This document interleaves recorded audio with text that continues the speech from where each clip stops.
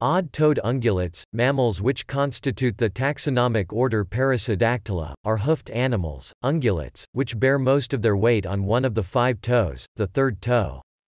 The non-weight-bearing toes are either present, absent, vestigial, or positioned posteriorly. By contrast, the even-toed ungulates bear most of their weight equally on two of the five toes, their third and fourth toes.